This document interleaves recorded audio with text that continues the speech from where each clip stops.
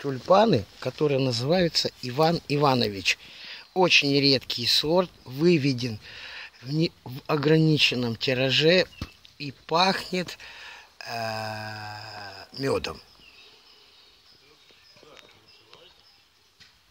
А вот моя рука. Я их рвать не буду, потому что я Гринпис пацифист.